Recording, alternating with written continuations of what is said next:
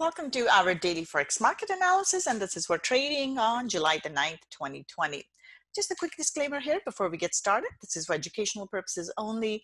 Trading is a risky business, so please be careful with your money.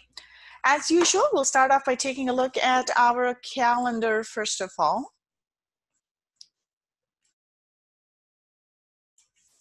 Uh, so fairly quiet day in terms of um, uh, in terms of news here.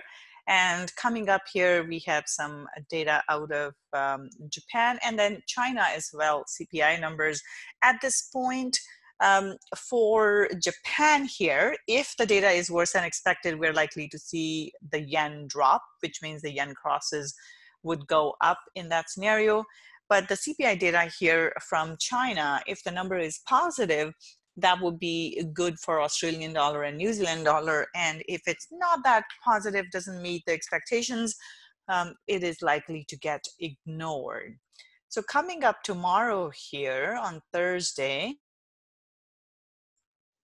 uh, again, not a ton of uh, data. However, we do have Eurogroup meetings, and at this point, if there are any kind of concerning comments, that could have a negative impact on the euro. But right now, um, we are seeing that US dollar is getting negative, negatively impacted. A lot of that has to do with the increase in number of the COVID cases in um, uh, in the US, they are going up every single day, and there doesn't seem to be any sort of uh, fix on the horizon. So, as a result of that, we are seeing the US dollar weaken in relation to the other crosses. So, at this point, as things stand, um, euro is is doing okay in um, in respect to the US dollar, but if there is if there are any kind of negative comments, so if we hear about uh, the Eurogroup um, or European countries not being able to uh, come to an agreement or anything like that, that is going to be uh, negative for the euro. For now, though, everything looks good. Uh, unemployment claims here for the US, we are likely to see or expecting to see 1.3 million uh, people going back to work. And if the claims come in, uh, if they are not, um, if they don't they, if they come in below expectations i would not expect a big um, i would expect a negative impact on the us dollar uh, but i wouldn't really um, expect too much of a, a positive impact on us dollar if it comes in positive. So all right so let's take a look at the charts here now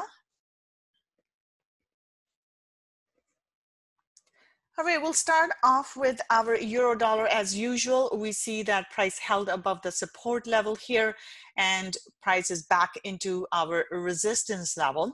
Now it is into the top of the range here, but it is pressuring the high, which means we could see uh, we could see this one um, go through it. So keep that in mind. So this is bullish here. Uh, and uh, keep in mind that there is resistance, but once we see the price go to the other side of it, next target is 1.1380 and then above that we're looking at 1.1400 so bias here is bullish and only only concern here would be the top of the resistance. Uh, today price has held below it and if it still holds below it then we could see a drop. For now though this is looking bullish here uh, euro dollar. Pound dollar here, pound actually went through that resistance level that we had talked about yesterday. It went through this, so this is looking bullish and now bias is bullish. We may see a pullback into 1.2580 and then looking for a further move to the upside here. Uh, first target is 1.2650 and then 1.2680. So bullish bias here for pound dollar. So look out for a bit, of a pullback and then a further move to the upside. Aussie dollar here, this is looking bullish as well. It's sitting right into that resistance that we had talked about. But at this point, US dollar not looking that great. Everything is essentially bullish against the US dollar. So bias here is bullish. Um, it, there is pressure right into the resistance here. So we are likely to see a break. Once we see that, next target would be to the upside.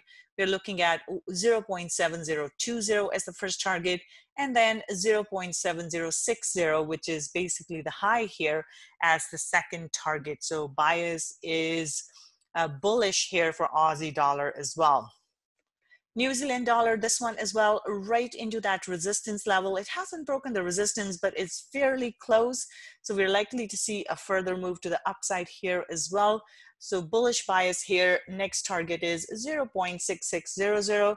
And then above that, we're looking at 0.6620. So bias is bullish here for our New Zealand dollar as well. Dollar CAD here, this one is looking bearish. We have a bearish engulfing candle close. Uh, again, prices into support, but looking bearish here. Next target here is 1.3430 and then below that 1.34 1.3400 so uh, bias here is bearish for dollar cad Euro pound here, we see that price is still holding below our support resistance level here. It had broken through that support yesterday, and today it held below that support. So bias here is neutral to bearish here. So if it holds below 0.900, then bias still remains to the downside. Next target here is 0.8935. So neutral to bearish bias here for Euro pound. Euro Swiss franc here, this one hasn't really done a whole lot. It did try to break through the support level. It sat um, here for a while and it has failed to break through the support level. Now it's because it's holding above here, we are likely to see a further move to the upside for euro here. So in terms of our targets, first target we're looking at is 1.0650 and then 1.067 uh, 1.0665 so bullish bias here for euro swiss franc pound swiss franc here this one's looking bullish as well uh, price is into resistance so uh, keep an eye on that um, for now, it hasn't broken the resistance, but it does look like we may see a break here.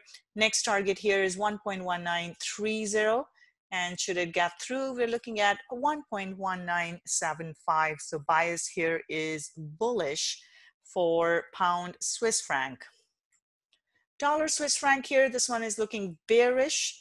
Uh, US dollar has been weak, like I said, and with this one here, bias is bearish. I will look for a bit of a pullback into 0.9400 and then looking for a further drop here. 0.9320 is the target. So bias here is bearish for our dollar Swiss franc as well. So a bit of a pullback and then a drop. That's what I'm looking for. Pound yen here, this one also looking bullish. We see that price is into resistance here. It hasn't managed to break through this resistance, but it does look like it's likely to.